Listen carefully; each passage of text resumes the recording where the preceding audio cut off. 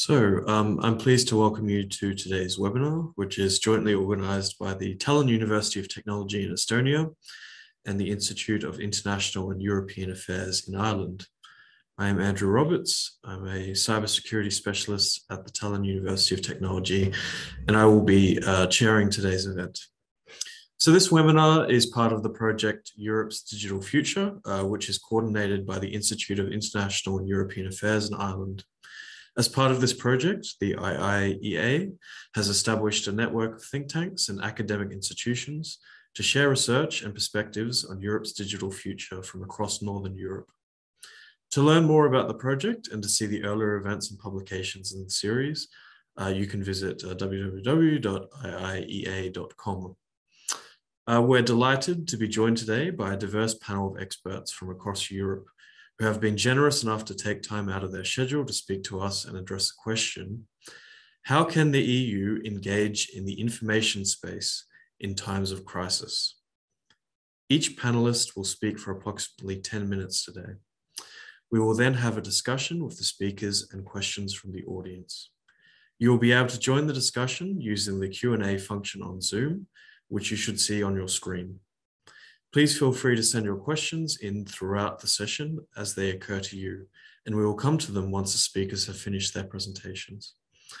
A reminder that today's presentation and question and answer session are both on the record. Uh, so please feel free to join the discussion on Twitter using the handles at CyberTalTech and at IIEA.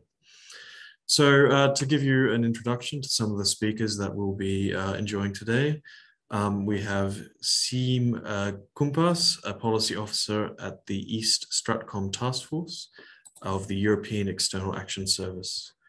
Uh, we have Oberstleutnant uh, Dr. Soenke Niedringhaus uh, from NATO Stratcom Center of Excellence. Uh, we have Markus Holmgren, a research fellow at the Finnish Institute of International Affairs. Dr. Adrian Venables, a senior researcher at the Center for Digital Forensics and Cybersecurity at Tallinn University of Technology, and Dominika Jantats, an information security analyst at Eurofins. So the first presentation will be made by Siim uh, Kumpas. So uh, serves as a policy officer at the East Stratcom Task Force of the European External Action Service, focusing on the EU's work against pro-Kremlin disinformation and foreign information manipulation more broadly. Uh, before joining the EEAS, he held a similar portfolio at the Strategic Communication Department of the Government Office of Estonia from 2018 to 2021. Uh, worked for the Ministry of the Interior from 2015 to 2018. Siim holds a, a, Master of Arts in Communication Management from the University of Tartu. And today's presentation, uh, Siim will be providing will be providing a wider EU perspective on this issue. So I now hand it over to Siim. Hi, and thank you for the great introduction, Andrew. Uh, I hope you can hear me loud and clear. I will uh, shoot up my slides in a second. Uh, grateful if you can confirm whether you can see them, and then I'm off.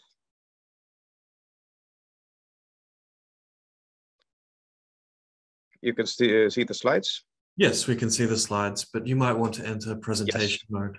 Yes, perfect.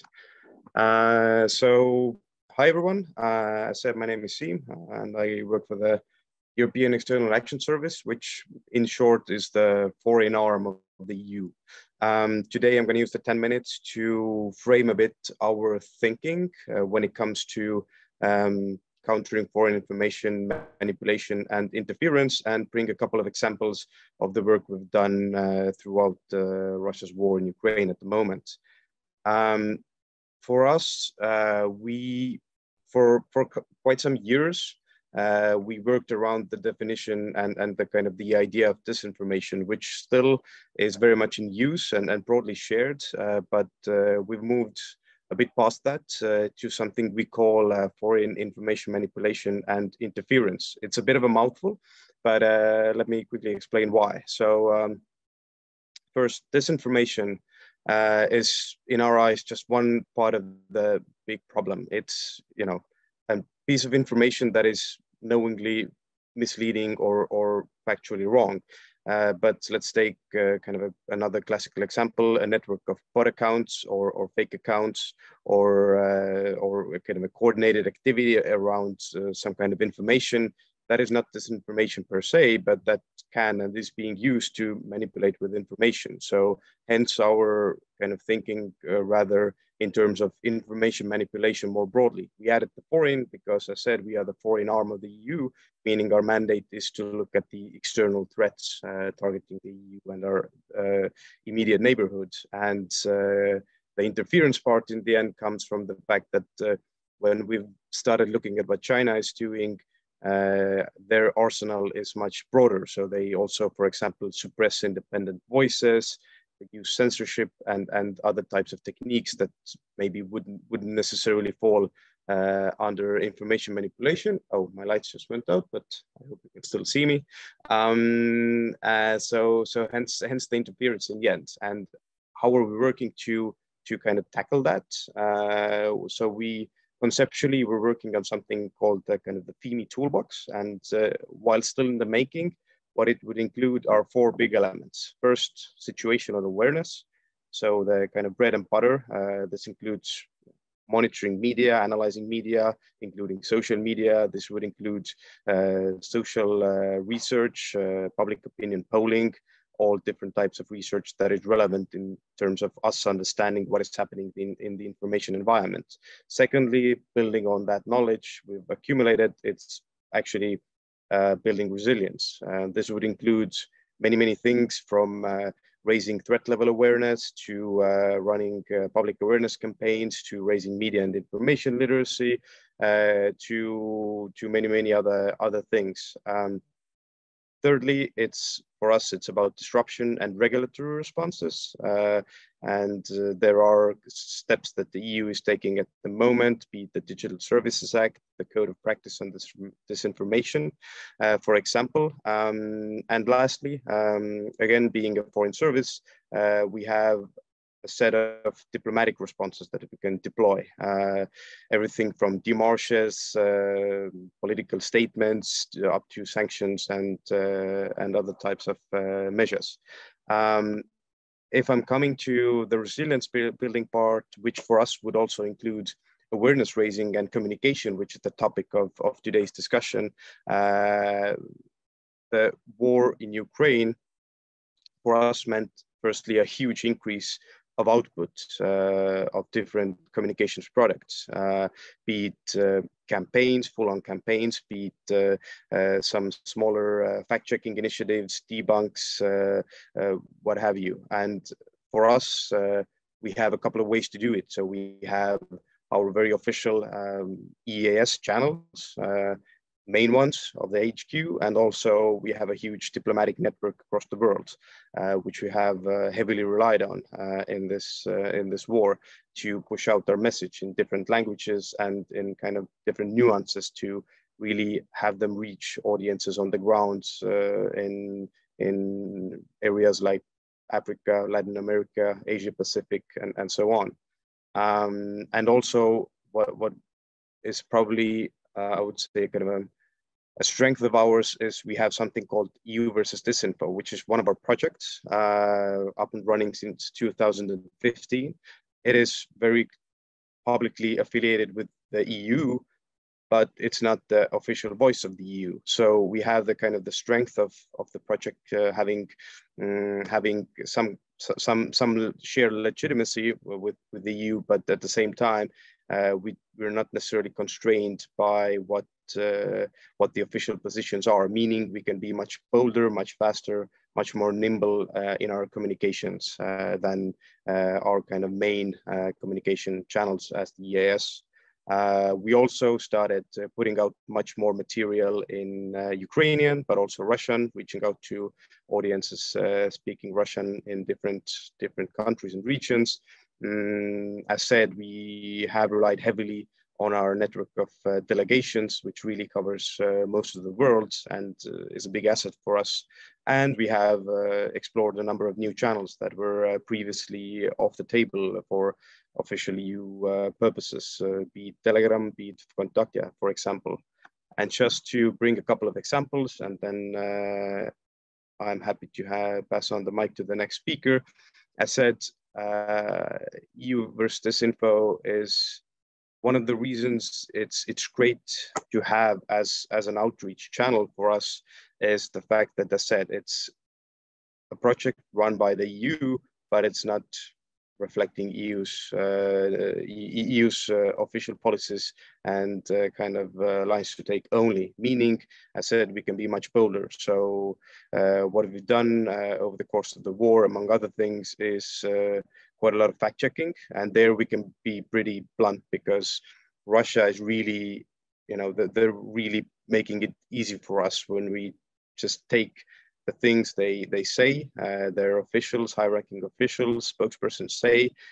We show the reality on the ground. The the difference is just so grave that it, it really speaks for itself. Also, uh, maybe a bit of a problematic trend that we've picked up over the past, I would say, couple of months is uh, uh pro-Kremlin sources using kind of fake fact-checking um, as a way to push their narratives. So they have kind of hijacked a bit the idea of fact checking and put it into malicious use, uh, which is problematic first because it's sending out uh, a kind of a disinforming narrative. Secondly, it's, I think, eroding the whole idea of, of fact checking as a reliable way to kind of uh, make the information sphere a better, better, better place, if you will. Um, and what we've done with that is we've uh, a couple of times just taken so the, the image on the right you can see it's uh, everything in, in black is what what uh, Russia put out via their diplomatic uh, uh, networks. Uh,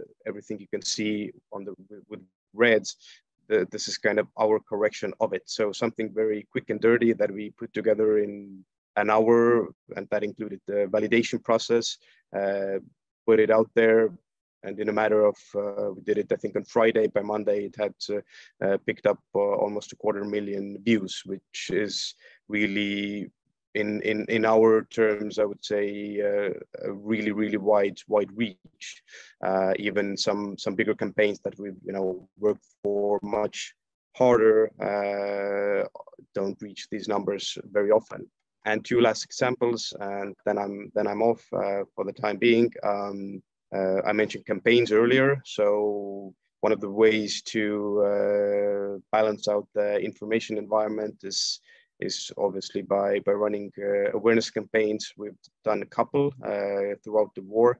One of them tried to bring together artists um, and and then kind of show the first the effect of war on cultural heritage in Ukraine, and then secondly the other way around, show uh, the role of artists and and their kind of efforts to uh, really uh, help the Ukrainian cause. Um, this was called Art versus War. Uh, second uh, bigger one of ours was Faces of Ukraine, uh, which was really there to show the human side of the suffering of what Russia is doing and give Ukrainians on the ground a voice and really amplify to EU audiences and and and abroad widely. Um, and uh, that is it. I think I've more or less used my 10 minutes, so I will conclude here. Happy to pass on the baton and uh, looking forward for the discussion later on. Thank you. Thank you very much, Siim, for a great presentation. So our next speaker will be uh, Sonke Niedringhaus. So Sonke is a lieutenant colonel in the German army. He has a master's in political science and a PhD in philosophy, both from Ludwig Maximilians University in Munich. Since 2019, he has been the German representative and staff officer for education and training at NATO Center of Excellence for Strategic Communications in Riga, Latvia. He was previously the analyst for the information environment at the Bundeswehr Operational Communication Center in Mayen, Germany.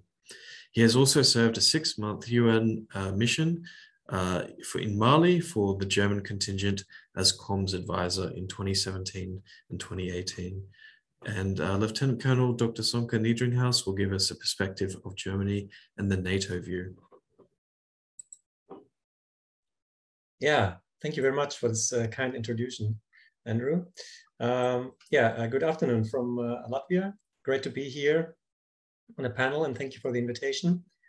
So the question that was given uh, to us for this panel was, um, how can the EU engage in the information space in, in times of crisis? What I would like to do is first uh, give you some very brief ideas how NATO is concerned with the very same issue. So both organizations, NATO and EU, find themselves in the same environment. That is what military calls information environment. And it is the environment where we have seen over the last several years an escalation of information warfare.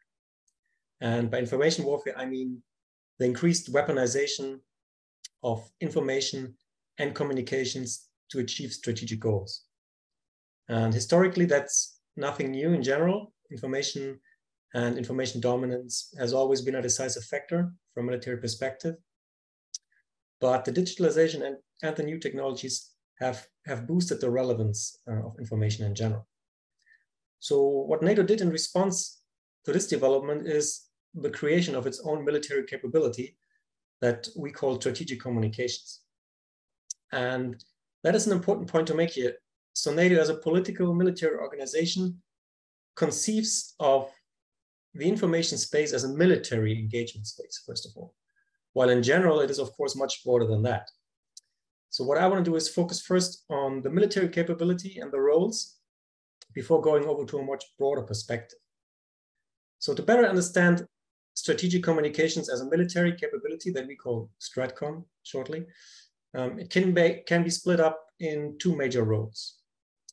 First of all, there's a role for STRATCOM in military operations in particular. Ultimately, it's always the role to achieve the cognitive effect for surrender of the opponent through any kinetic or non-kinetic activities. But of course, the opponent as a main actor is not the only audience uh, you want and need to address for operational success.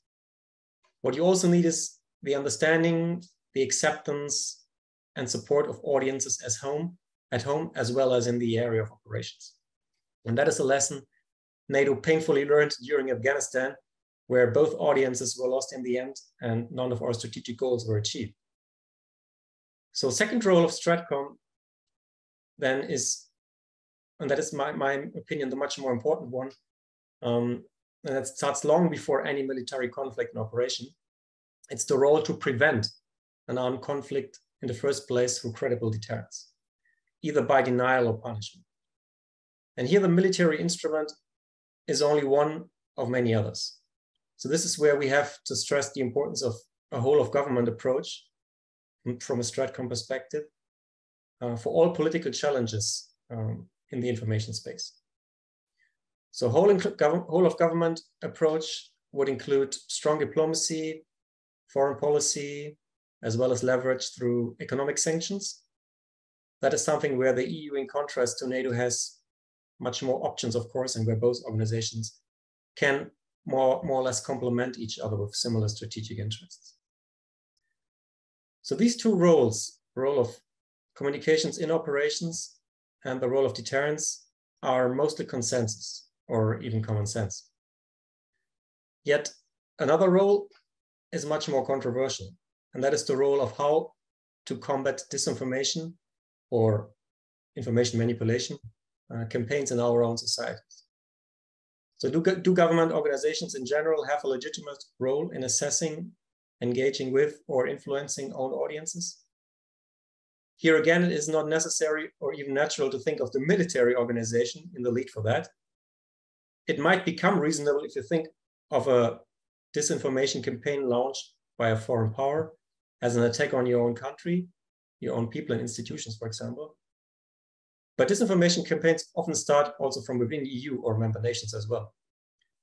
So I think it, it's not the most imminent question if the military has a role or not in fighting disinformation, but the question what the role of government organizations is overall. And here EU and NATO very much rely first on political public debate and decisions in their member nations. So from my experience, uh, and here I'm talking about Germany, for example, there's a lack of these debates there's a lack of legitimacy for government organizations and institutions to take action, and therefore the lack of structure and capabilities as a logical consequence. What Germany, for example, has done so far is uh, not implemented Stratcom nationally, so neither structurally nor conceptually. But we, what we have done is implementation of, for example, law against crime on online platforms, this is a necessary instrument to uphold rule of law online against hate speech crime. But this is not the most effective way to counter disinformation in general, if that is what our ultimate goal is here as well. So in, in our liberal democracies, of course, state interference with society, though it is sometimes necessary, is not the fundamental idea. Ideally, the media, professional journalism, or the self-regulatory powers of a free society would be strong enough to counter the threat of disinformation and the harm it brings to society and its members. But arguably, now we have already for some time reached a point where additional instruments should be considered. And we also have reached a point where national structures alone are not sufficient to counter the threats of the information space. The information space nowadays is transnational and its actors and networks are transnational as well. That is something that has become very clear also through the research that we did at our center, for example, about uh, information laundering throughout Europe. Now, the EU has already made a step forward by imposing a legal framework, uh, the Digital um, Services Act for digital platforms that we heard already in the first briefing. And we will see how this will affect online disinformation. But as I said, legislation is only one essential aspect to guarantee freedom and equality, but it's only one aspect. Um, and yet disinformation is often connected to hostile um, narratives. It's hard to counter those narratives by means of legislation. In consequence, other aspects, I think, play a significant role here as well. For example, education, media and online literacy, pre-bunking and inoculation against disinformation, for example.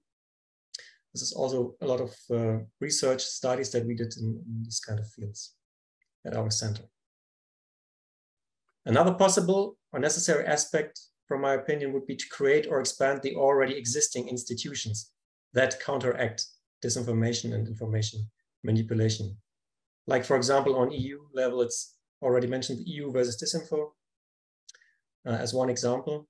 Another good example from a national uh, level is the Psychological Defense Agency um, that uh, Sweden has created. So their mandate is also to identify and analyze and counter foreign malinformation influence activities and other disinformation directed at their national, at their nation and their national interests. So here for the EU, as well as for NATO, it is beneficial to look into the member nations and see what is done there already, what is successful, learn from it, and consider also an implementation on the international level. Let me wrap up my part here by saying that information is influence, that, that's a truism.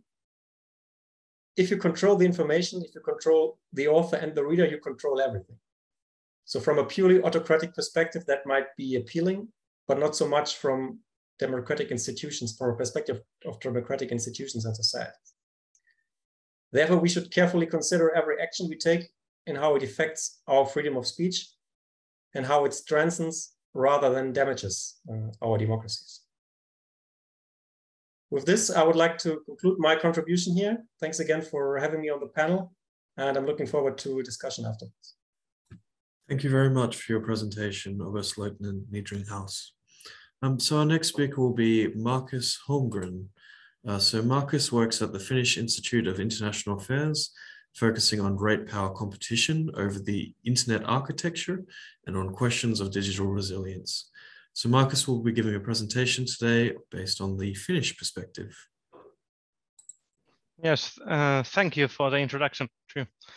Um, I am not a politician and not a civil servant, so the official uh, Finnish perspective will have to be someone else's responsibility. I will like concentrate more on the bringing the conversation back to the level of the infrastructure, uh, digital infrastructure, digital architecture of how can we maintain uh, the capability of uh, to communicate. That uh, if uh, disturbances happen or when disturbances happen so that there is a space uh, and autonomy that we can have discussions and conversations uh, to respond to those actions. This is very much a Finnish perspective in the sense that uh, we have a proud history of strong resilience uh, work and the preparedness. And uh, this is something that I am certain we will looking forward to improve also in the in the context of NATO with the upcoming membership. That I'm certain that we will get there uh, eventually, no matter what, uh, how difficult it seems right now. So going back to the uh, actual topic, the digital resilience, I like to divide this uh, area in four different categories, talking about uh, the infrastructure itself, the supply chains uh, that are necessary for maintaining this uh, this infrastructure. And in term, in case of digital infrastructure, it's especially important that they uh, function well, because the time for delay because the need for updates is so urgent. The time for delay is, is not uh, allowed uh, to be very long. So it is very important that the supply chains are, are diverse and the capabilities to um, strengthen them at the points of need are maintained in, of course, EU level and in uh, national level as well. This uh, includes, of course, then not only the autonomy and coordination between the corporations that do this work, but also the agreements that uh, maintain the operational capability of these different corporations during the time of disturbances. And this is the third dimension here, the governance aspect. That uh, and that is the strong suit of EU and where we can focus uh, most.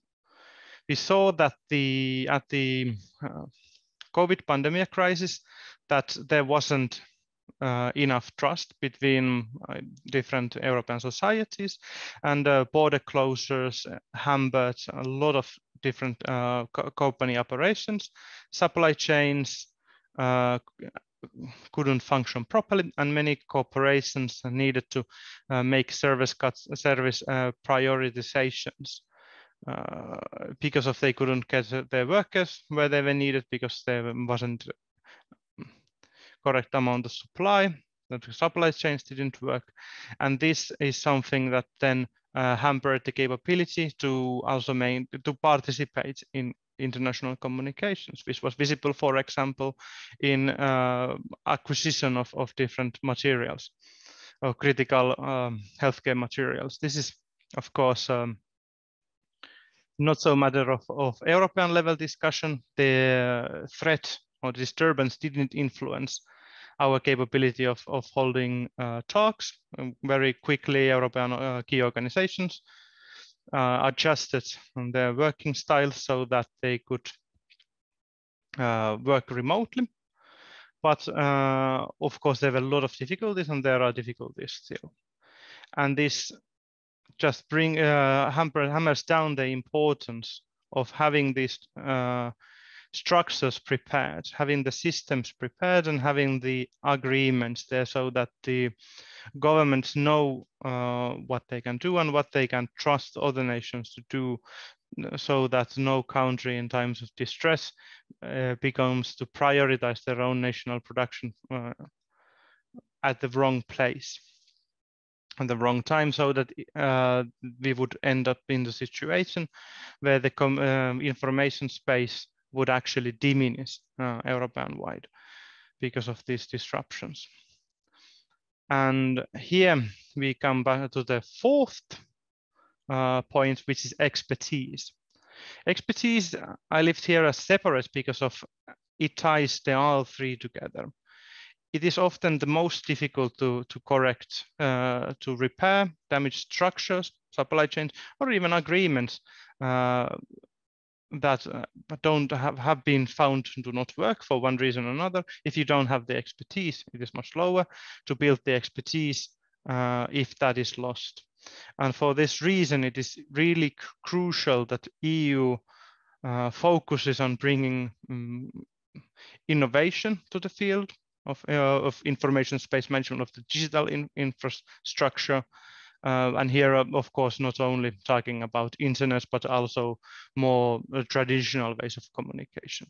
That these fields constantly develop so that the when unforeseen circumstances happen, there is ample source of uh, capable um, expertise, capable labor force to respond, to innovate, to find solutions, uh, to solve uh, the issues causing the disturbances, to repair or replace damaged uh, communication networks or server spaces.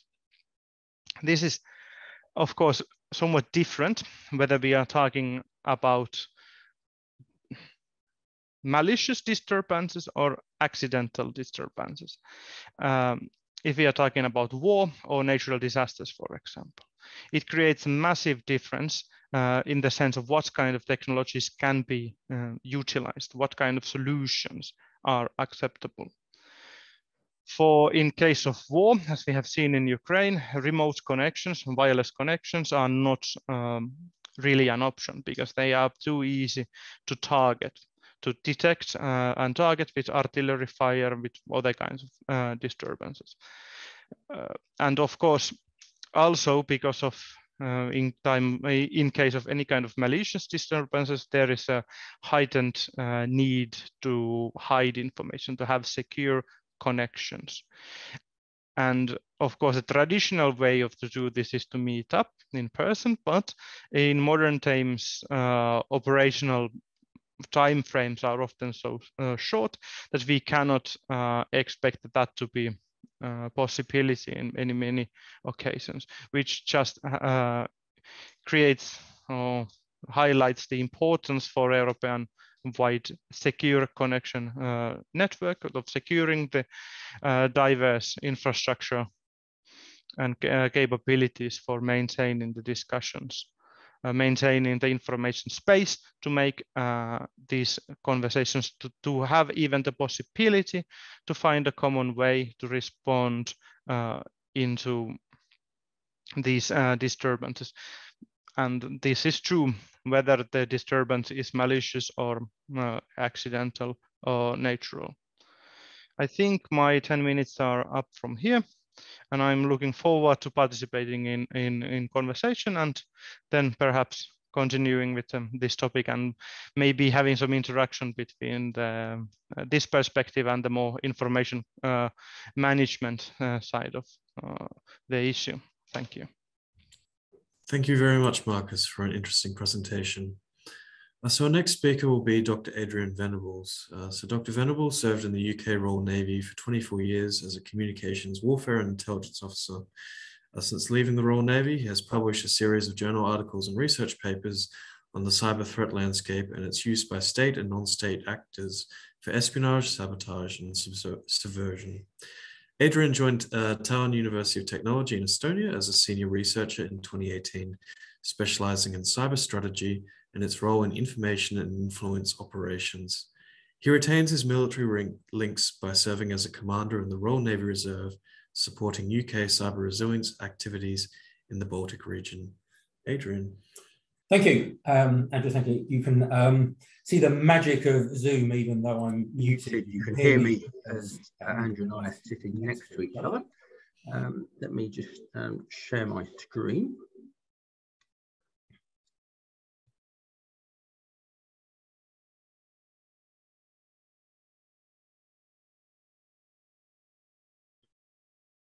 There we go, my more magic.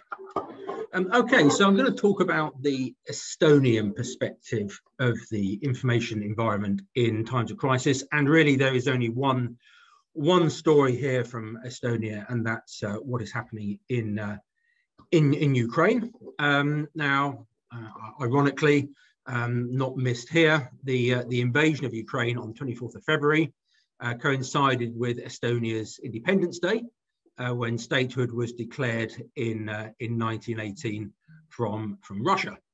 Um, now, the Estonians are, um, are very generous and with a smile will say that it is, or it has been their, their national sport of um, highlighting the Russian threat.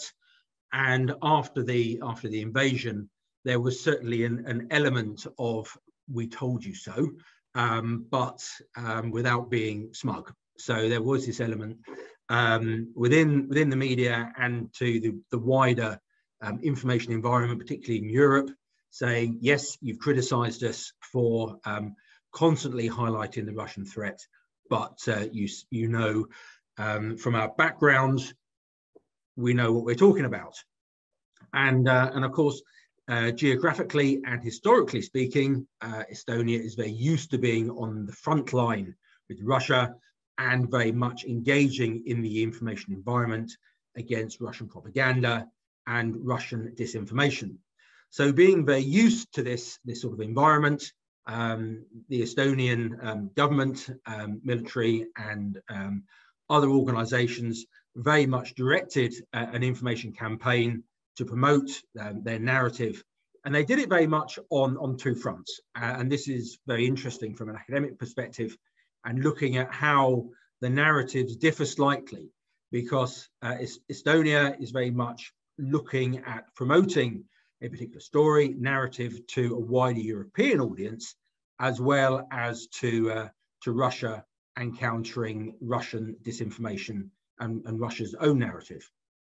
Um, an interesting quote, which is sort of doing the rounds here, is that um, uh, we don't fear Russia's strength, only the West's weakness.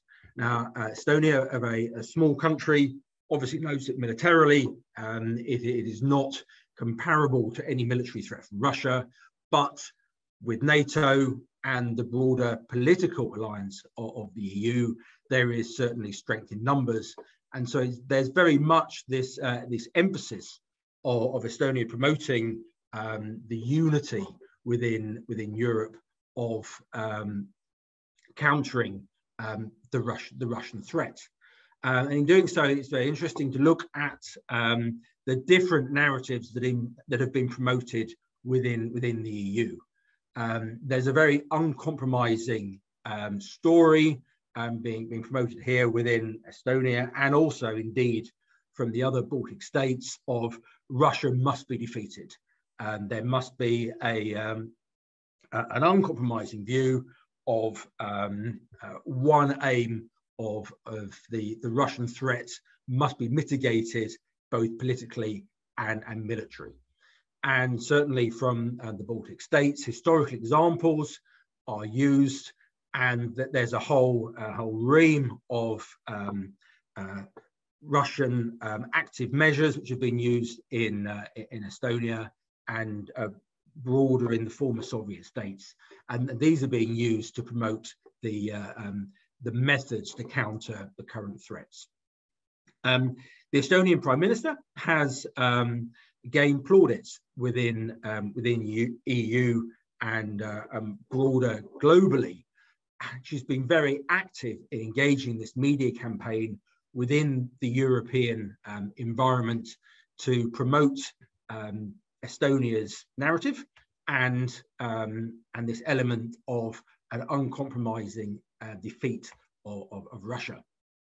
Um, she's also warned that um, there will be pain of, of sanctions and the, uh, the EU um, and, and wider global sanctions against Russia will obviously have an effect upon, um, upon Europe and there will be pain, but this pain is, is worth it and um, trying to promote the, the European um, solidarity.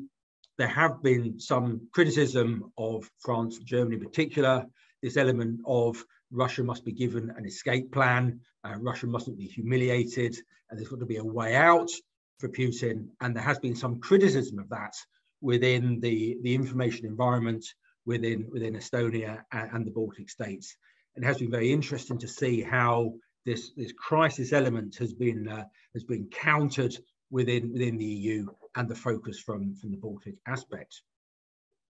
Uh, Estonia was one of the first EU countries to label um, uh, Russia's actions in Ukraine as, as genocide. Um, that's a very strong word, um, but certainly um, Estonia has not uh, um, retreated from that and has been very strong in promoting it. Um, Estonia has also been uh, very prominent in the information environment of um, calling for Ukraine to be a, uh, uh, a strong candidate for uh, future EU membership. And uh, this is something which um, certainly is, is very active in the European Parliament and EU Commission at, at the moment. Uh, and indeed, um, Estonia, along with the other Baltic states, um, Poland, and indeed states which haven't had this historical link to, to Russian aggression, um, calling for U Ukraine to be a, a prominent, prominent member um, of uh, um, the EU in, in, the future. And that's been, that's been very interesting. Um, Estonia has also promoted that uh, the EU has a moral duty um, that um, Ukraine needs to be, uh, be part of, of, the EU. And that's been very prominent within the information environment here. Now, looking at uh, uh, away from Europe and looking at countering um, the Russian propaganda, the Russians' uh, narrative, um, Estonia was very quick. Um, the day after the, uh, the invasion, to ban from broadcasting um, a number of Russian and Belarusian TV channels in, in, in Estonia. Um, these, uh, these broadcasts, as well as um, free-to-air broadcasts, which obviously from Russia only has limited coverage in Estonia, a lot of it is, is online. And so um, Estonia has banned the, uh, um, the, the, nations which, or the stations which I've, I've listed there. Um, obviously, with a uh, strong Russian-speaking population, and Estonian TV actually has its own Russian language channel, which is uh, focused on the, uh, the ethnic Russian minority for whom Russian is the, uh, um, the native tongue. And, and, many of the, the ethnic Russians here don't speak Estonian um, particularly well or, or, at all. So having a state broadcaster broadcasting in Russian um, gives a very strong message, both to uh, ethnic Russians here, but also to, um, to Russians in Russia and, um, and uh, native Russians around, around the world promoting a, a certain uh, narrative from, from this part of the world. And the Estonian tech uh, regulator uh, in beginning of March uh, blocked access to a number of, of Russian websites, which are, I've listed, listed there.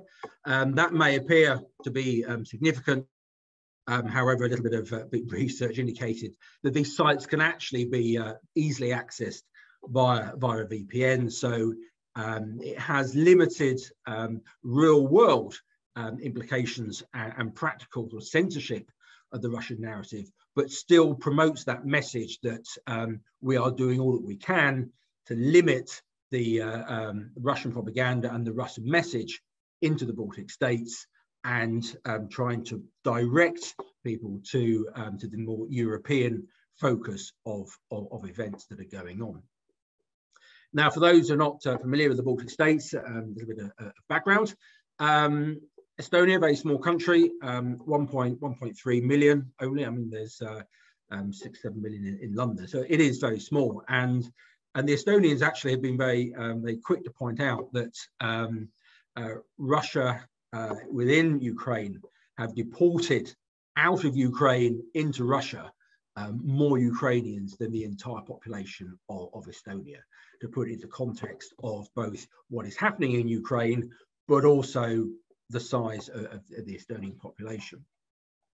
So 300,000 of these uh, 1.3 million um, uh, Estonians um, are native, native Russian speakers.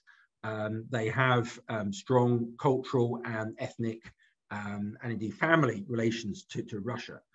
And, and there is this um, common scenario within Russia that it will attack other countries in order to protect its uh, diaspora. And this was one of the reasons why Russia invaded initially in, in East, Eastern Ukraine. And so there's obviously that, uh, um, uh, that very careful promotion of the, um, of the Estonian um, narrative and, and the Estonian philosophy to um, to make sure that we're not seen as being uh, attacking of this uh, ethnic uh, ethnic Russian uh, minority. So range of media channels is used to promote um, the the um, the Baltic Baltic narrative and, and, using media channels, including, um, as I said, the the Russian TV channel. Um, this also counters um, some Facebook that I've quoted there of um, some very pro pro Russian uh, Prussian uh, narratives there.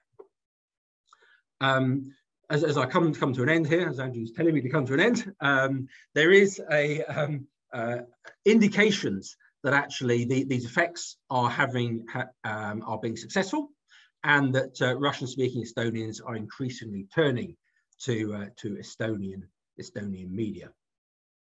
And uh, we've also uh, also seen some um, uh,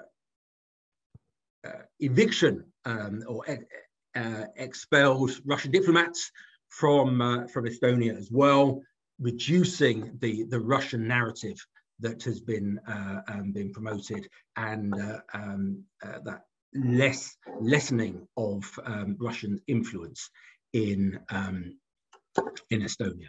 Um, I think I've mentioned much of this. The uh, the Estonian um, or the ethnic Russians minority is primarily in the east of the country, and and certainly we've seen a reduction in the effectiveness of the Russian uh, propaganda and particularly directing the older population who generally have been more, more pro, pro Putin. Um, what has been has been interesting is also we've seen um, Estonian population have been quite effective in countering um, Russian information campaigns. Um, Dominika may recognise the language, but certainly the the Estonians within social media have been very good in looking for where there's been disinformation and have been have been countering this, and uh, and certainly social media has been very active in this environment. Just in the yeah. So just to conclude here, um, so um, historically, information campaign, um, uh, information crisis has been um, uh, prominent here, and we are very used to dealing with it. Uh, Estonia is fighting on two fronts: uh, Estonian and uh, European and, and Russia. And certainly we've seen some successes in, in, in this campaign. And I will now finish. Thank you. Thank you very much, uh, Commander Venables. So our next speaker will be uh, Dominika Helena Ayantas. Uh, Dominika is a security incident response analyst for Eurofins, and she recently attained her master's degree um, related to her talk today. Uh, so yeah, um, Dominika, the floor is yours. Thank you for this introduction. Let me. Uh, we can't hear you, Dominika. Oh, now? Can you hear me now? No. Ooh. Okay. I can. No. Okay, so some people hear me and some not. Oh, okay. Okay, um, just so you know, Andrew, I don't hear you. Yes, you're all good. My my apologies. Okay, cool. Um, let me let me share my screen.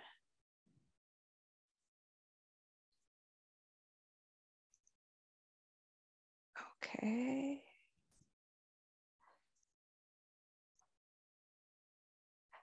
All good?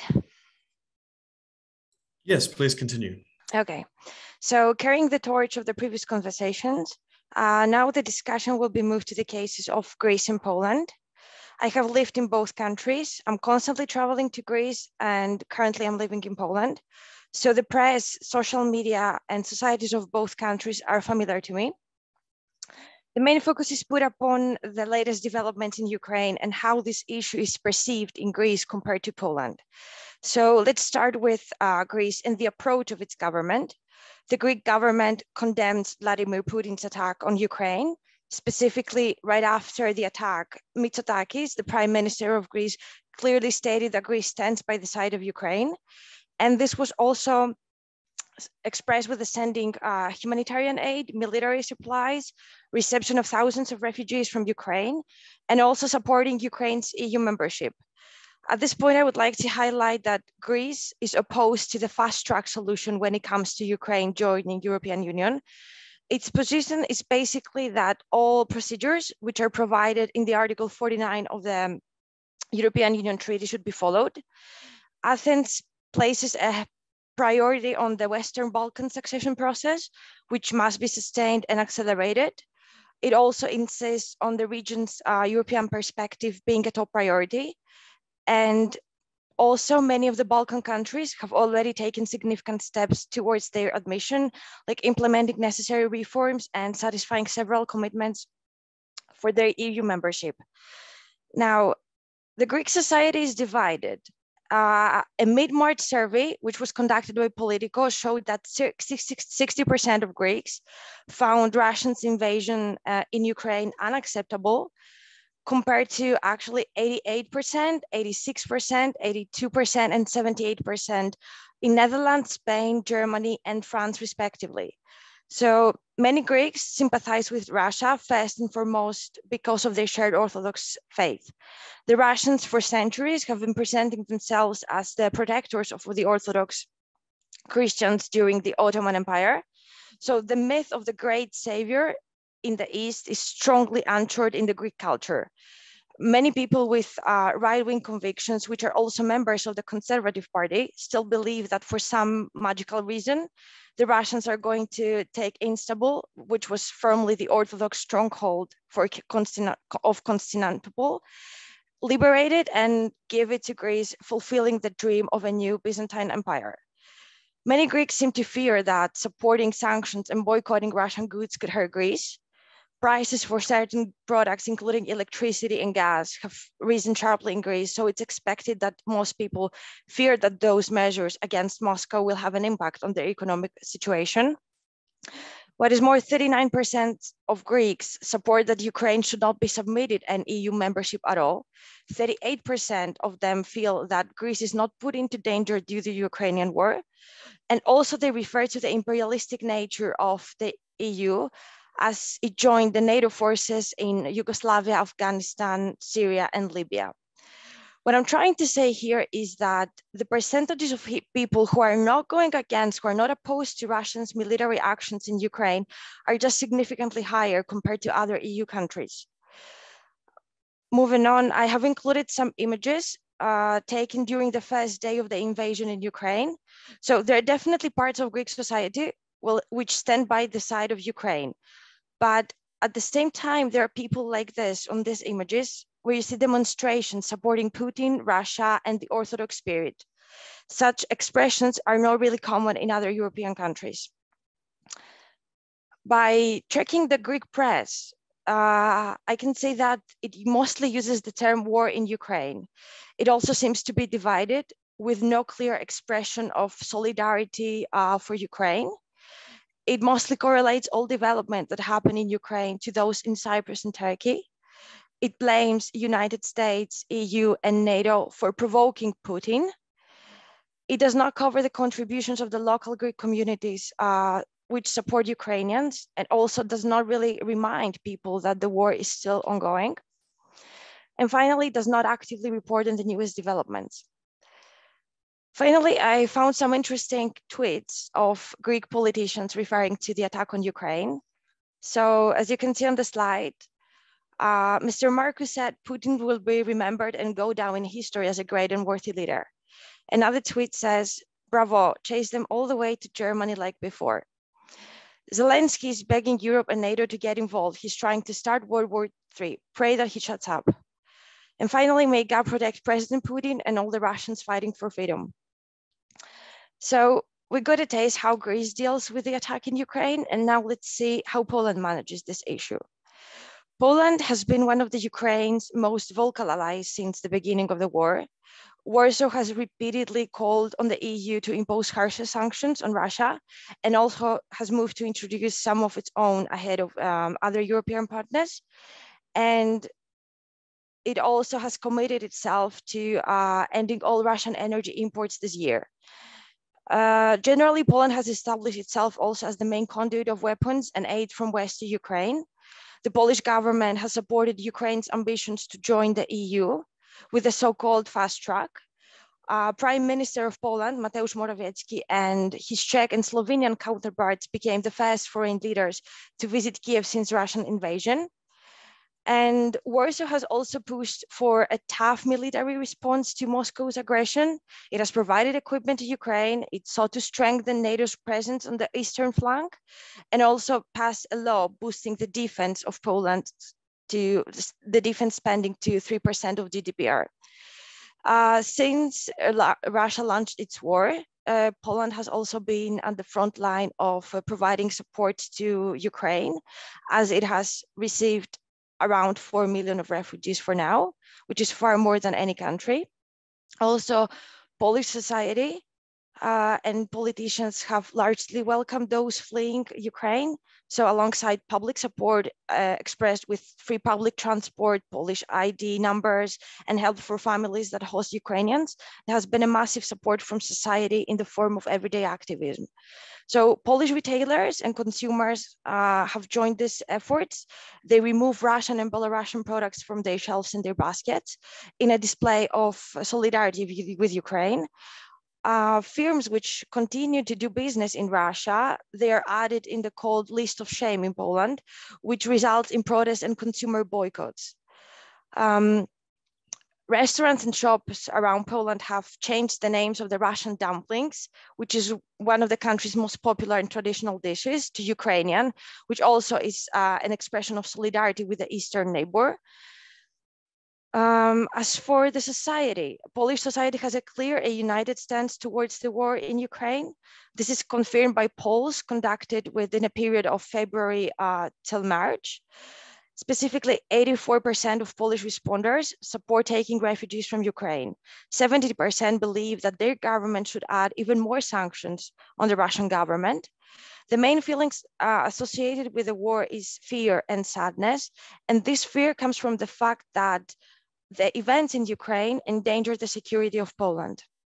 80% believe that uh, a full embargo on Russian crude oils and gas should be should be put, despite the fact that uh, this will lead to even higher prices of goods.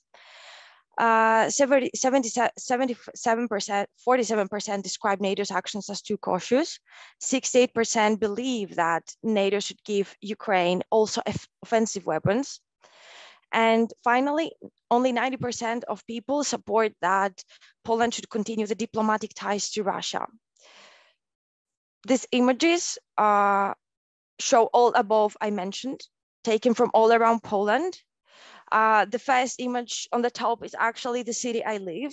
So from the first day of the invasion till actually even yesterday, the lights on this uh, monument have not changed.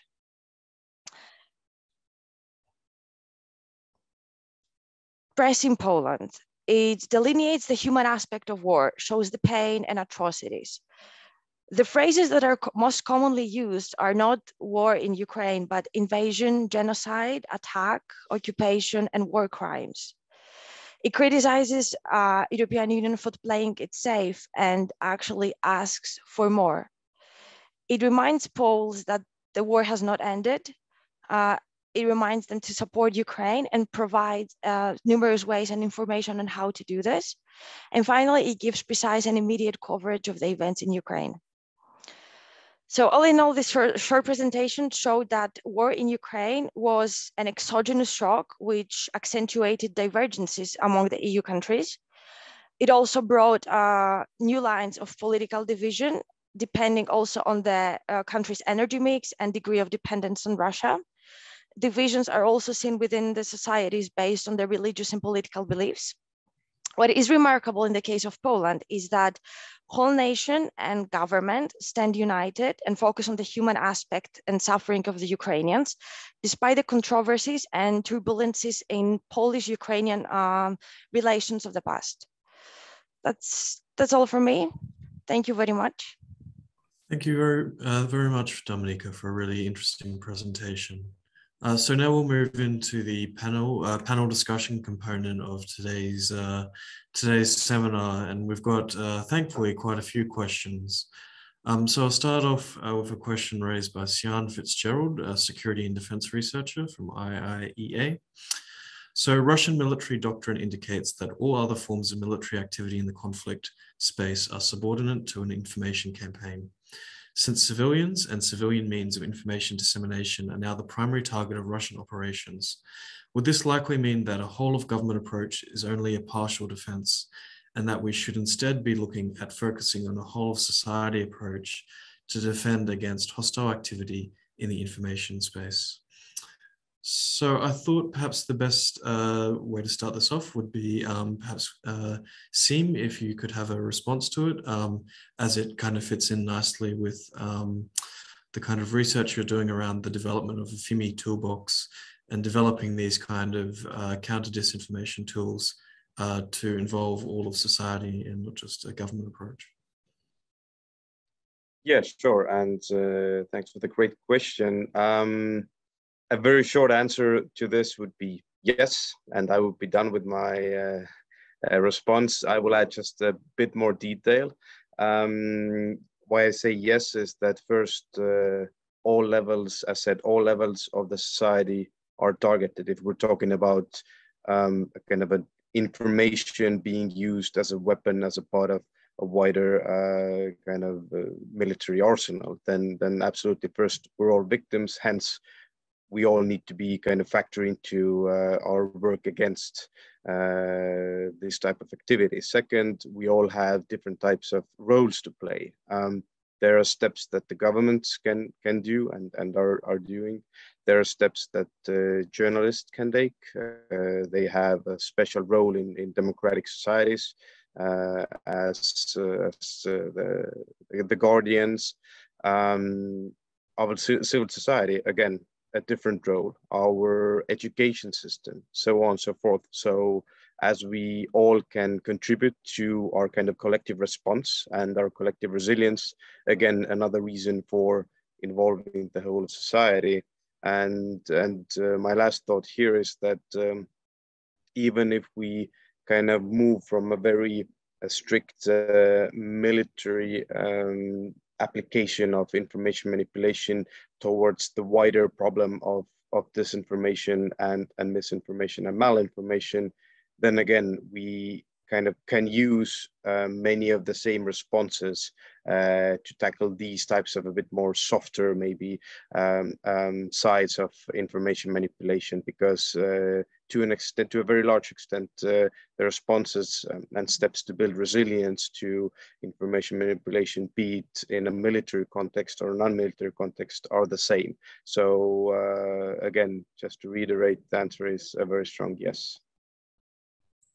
Thank you. I might uh, try to get uh, Oberstleutnant uh, Niedringhaus uh, on this topic because uh, you talked about in your um, presentation ensuring that the policies and uh, uh, the kind of focus was on this whole of society approach. So how to engage the whole of society, not just a government approach. Yeah, thank you very much for the question. I think it's a very, very good and very interesting basic question. So what I want to try to focus first on was that when we talk about military conflicts, uh, military crisis, uh, then it's it's never only just the military. So that's first of all what I wanted to focus. It's never only the military branch of government, but it's always a whole uh, of government uh, responsibility. But it doesn't end there. The government, of course. Um, so the, the traditional instruments of power for government are diplomacy, information, military, and economy. But um, as the question like already like uh, shows us that that's not enough to to to secure our information space. So, so we need more than that. And I already also mentioned briefly that uh, in terms of education, we need to be better. Um, in terms of um, uh, NGOs, maybe that, that, that can help with that, society activities, uh, groups, unions, um, also startup companies. There are a lot of new startup companies uh, that are combating uh, disinformation, um, pro providing to their customers information security. So um, it's it's much more than only government. And to be honest, government is, is, is also not the best in doing this kind of things. So out of society, there are much more uh, new, um, yeah, evol evolving um, ideas, techniques, and also structures that that can help us to to counter these uh, uh, information, uh, yeah, hostile information activities. And that's a good thing about, uh, I mean, about free democracy. So we have these these kind of uh, um, grassroots uh, uh, movements and also like uh, companies that are evol evolving out of the necessity for a democratic society to, to protect itself. Apart from the government that also has, of course, a role, de definitely. Thank you very much. Um, as we have a million and one questions coming through, I might uh, give you ones that are kind of targeted on your presentations um, to make it uh, so we get through as, as, much content as possible. So I was wondering, um, uh, Markus, you gave your presentation on, on, the kind of digital infrastructure and the, the importance in, in terms of uh, information management. Um, this is about a two hour uh, question, which could have its own couple of PhDs. Uh, but what do you see as potentially the role of um, you know emerging technologies like artificial intelligence to manage the information space, as well as to do things such as you know the generation of disinformation as well as the detection of disinformation? Yes, um, thank you, Andrew. Really simple and easy question, but I think the here also I could I could just answer yes, because the the the role of of AI of of machine learning and these like loads of different uh, technologies are going to be massive, and uh, for whether they are massive for better or for worse, of course depends uh, much of the capabilities that that we have and those uh, featuring so like causing the disturbances uh, have. So here again, of course, the difference between uh, malicious uh, disturbances, war and the like, and the natural disturbances is huge because in case of war, we are we enter into this kind of uh, armament uh, competition of uh, between the dis disruption and attacking and spying capabilities, and then the resilience preparation uh, and deterrence capabilities on the other side. And this uh, dynamic, of course, co is completely lacking in the case of natural disasters or pandemic crisis uh, or the like. Uh, this is um, in in this kind of case, of course, the emerging technologies like like the five actual 5G when we when we eventually enter and the spread of this uh, connection options is going to be of uh, immense help. And I believe that also artificial intelligence will solely be uh, of possible posi positive development uh, in this uh, this phase or, or, this side of the issue because of it can help us uh, detect uh, the delays, detect where the problem actually is, such as uh, solutions. And as, as this capability spread, it, is really a general purpose technology that will spread everywhere. And it is only in the malicious side uh, of the issue that we will uh, end uh, with a lot of new um, threats, a lot of new kinds of disturbances that we have to be prepared of. And uh, just to finish up, I think the most important thing that EU could do here uh, to prepare for this, these changes that the emerging technologies are going to bring is to uh, speed up the standard unification of standardization process. Uh, currently, the single market uh, for high uh, tech solutions doesn't entirely cover uh, like reach the single market it is not really uh, there yet because of in many cases like um, a medtech and and even uh, platform algorithms a lot of the corporations have to uh, have the standardizations and orders for different member states uh, individually which which makes uh, which breaks up the single market and it gives a huge competitive advantage of the larger single markets that that in the sense that those single markets that have single audit system. So unification of this would be of immense help of, de uh, of developing the know-how, the innovation, and the strong co uh, corporations, private companies uh, that we are going to need uh, for maintaining the strategic autonomy uh, in case of uh, disturbances. Thank you. Thank you for succinctly answering such a big topic for me.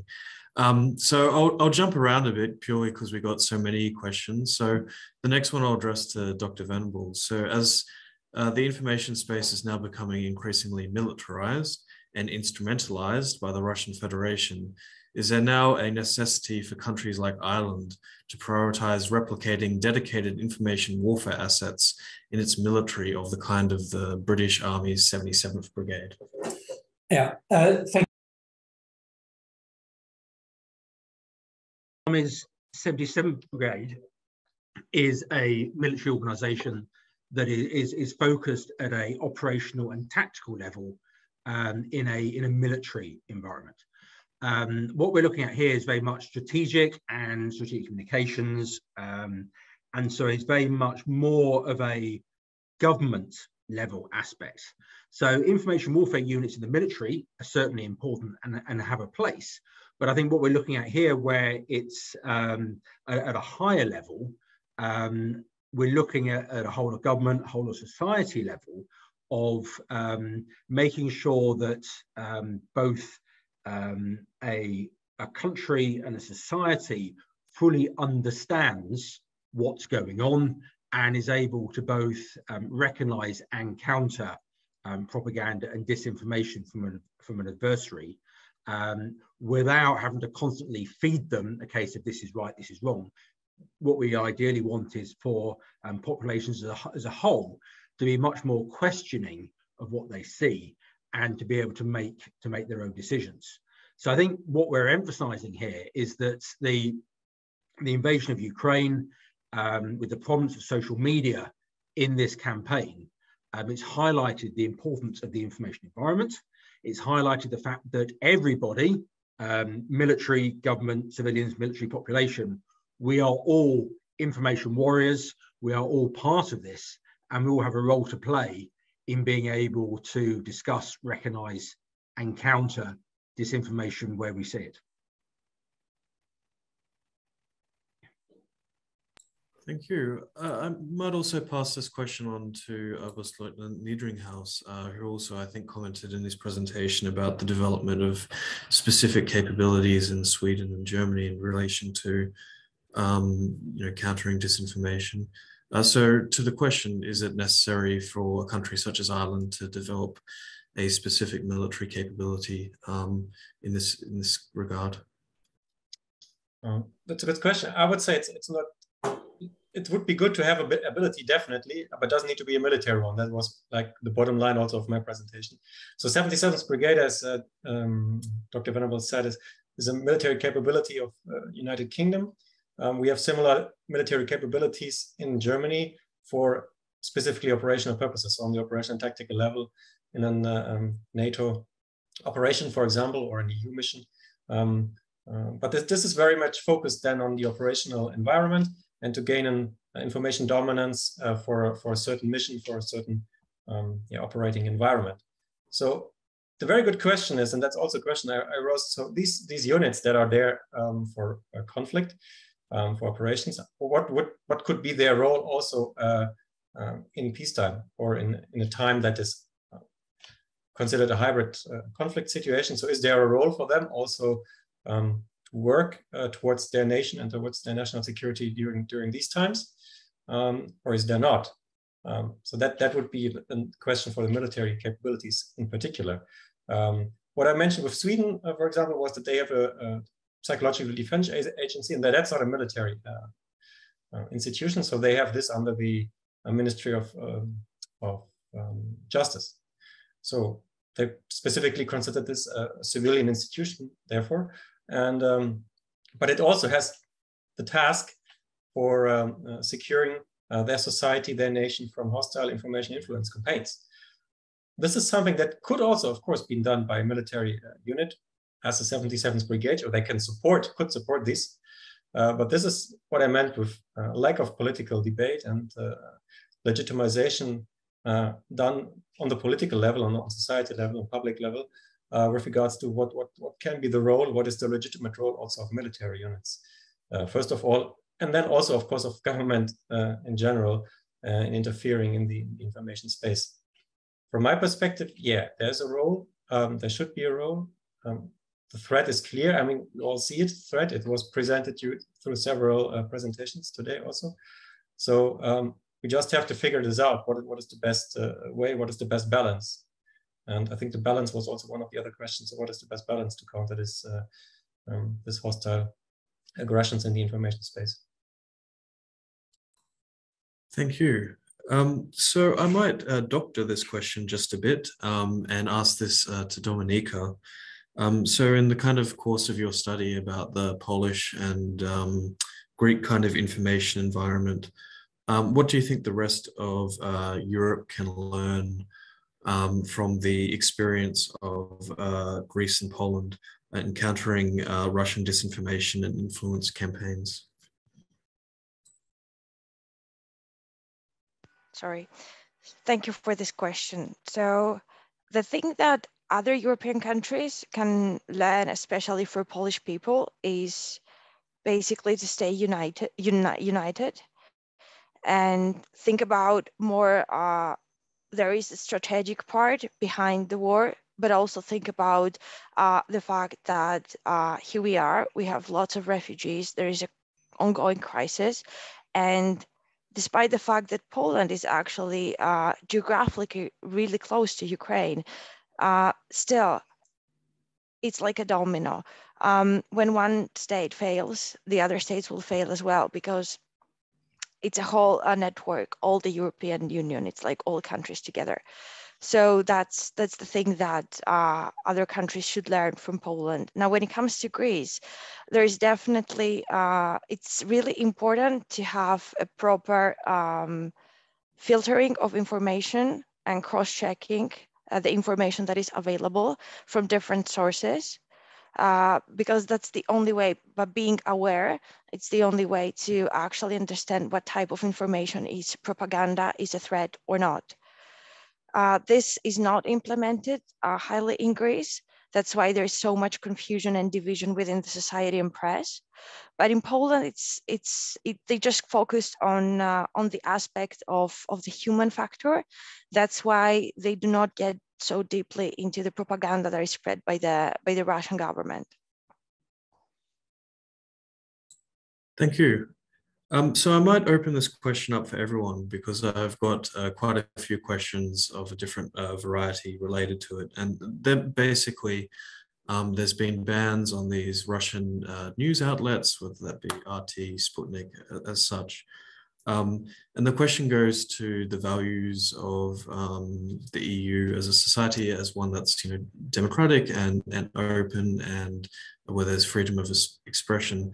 How do we ensure that um, you know uh, we can, we can enact things like uh, banning um, these uh, uh, media outlets um, whilst also retaining, you know, our fundamental sense of, you know, freedoms and, and, liberties. And is there any conflicts in, in these actions? So I thought I might start with Siim and then we can go across and everyone can have a, a viewpoint about this. Thanks. Yeah, I mean, I would divide this into kind of two uh, sets of answers very quickly. First is we should look at um, media environment and secondly, everything to do with uh, social media. Uh, when it comes to media, then there are a couple of things there. First, I think there should be a clearer understanding of what is journalism. Um, because not you know these days everyone can really call themselves a journalist and then really uh, want the kind of benefits that come with that, uh, be it source protection, be it something else. Um, while as there are internationally recognized uh, voluntary professional standards, ethical standards for journalism that journalists themselves had put down.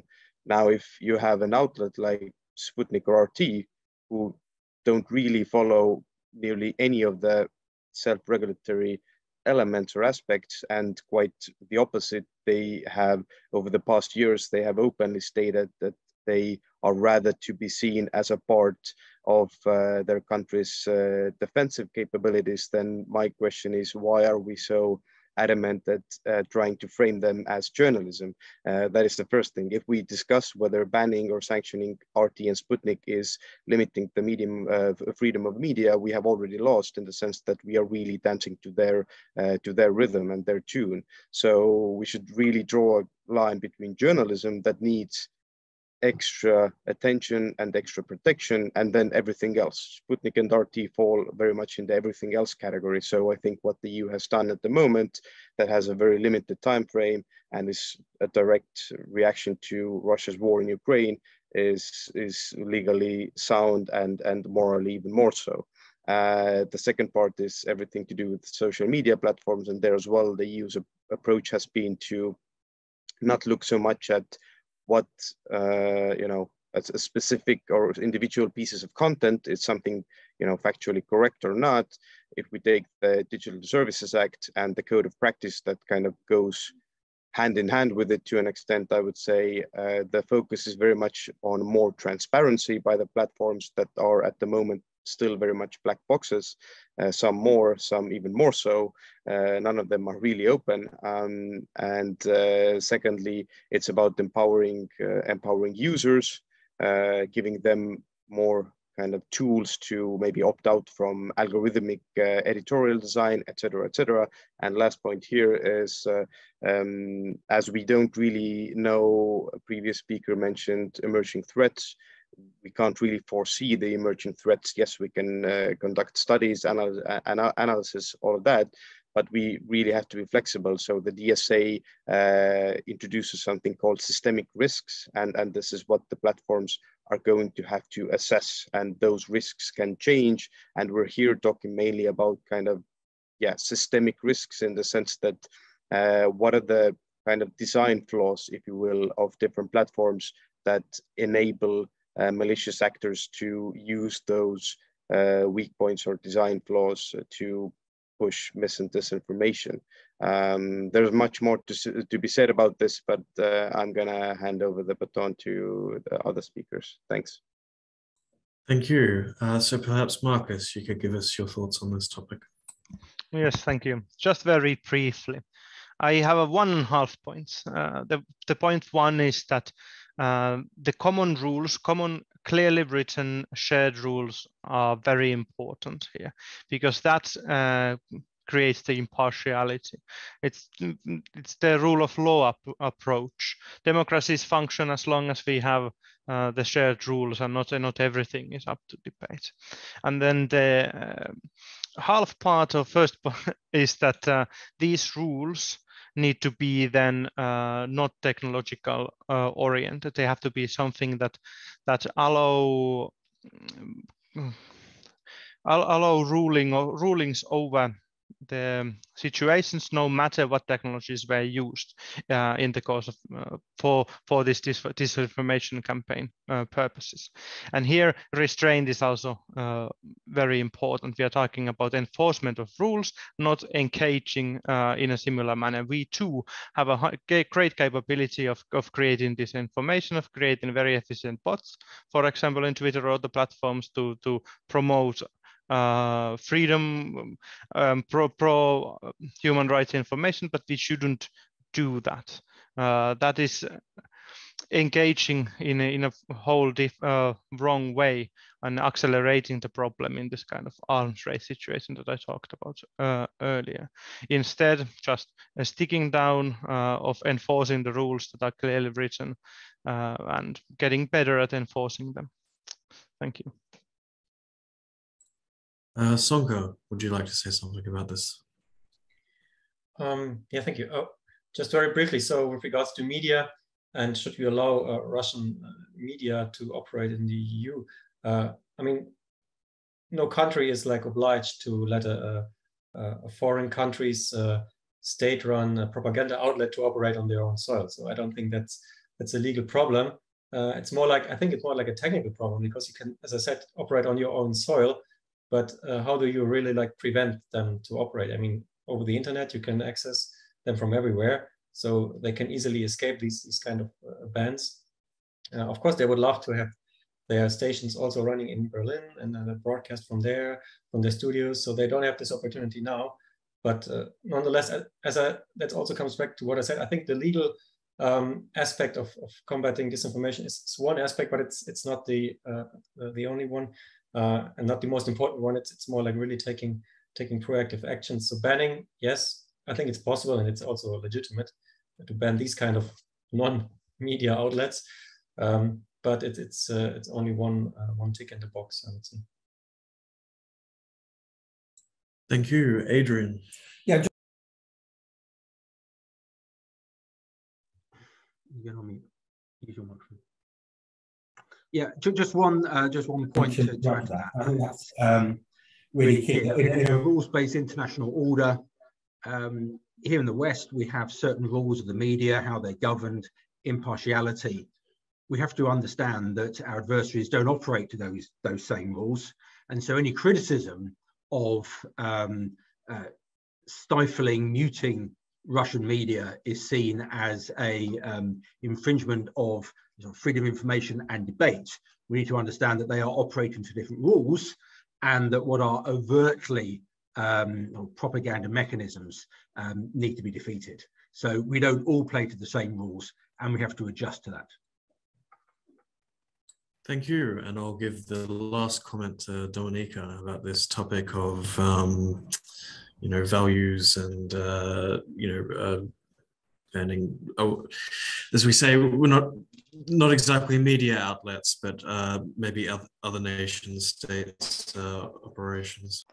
So what Poland actually gave, uh, it's it's his response uh, to to the propaganda of Russia. It's basically uh, approach all the important media outlets, social media companies, uh, to block the the Russian presence online. And what started to create was alternative means of uh, communication and uh, information in Russian language which were filtered out and definitely were kind of more uh, were let's say were not coming from the mainstream and from the from the outlets in Russia. So this is one one approach that I saw to to the topic of how to uh, balance this. Uh, from one side, the freedom of speech, and from the other side, you have some control over it. Uh, well, in, in Poland, it's actually effective. Uh, in most cases, I have seen that many countries have blocked uh, Russian uh, Russian content in their in their platforms, but um, the second approach, the fact that you still allow kind of uh, content from Russia related to Russia, it's something that many countries could think about how to balance these things out. So I think we uh, we've come to an end uh, today of our seminar. Um, so I'd like to thank all of our panelists um, for your presentations and for your uh, interesting views and opinions. Uh, it's been excellent. I'd like to thank uh, Andrew Gilmore and the IIEA um, for organizing uh, this seminar and um, the interesting uh, debate that we've had today. And I'd also like to thank the uh, audience and attendees for um, attending. And I think uh, if you want to have uh, you know further information based on um, the discussion we've had today, I'm sure there's some great content and research on IIEA's website. Um, as well as the East Stratcom task force and uh, some of the interesting tools they have, like uh, the EU versus Disinfo uh, Twitter site, which is always good fun, and also the great research which comes out of um, the NATO Stratcom, um, and uh, also interesting research from the Finnish Institute of International Affairs. So I'd like to thank you uh, for your time today and um, wish you the best. Thank you very much.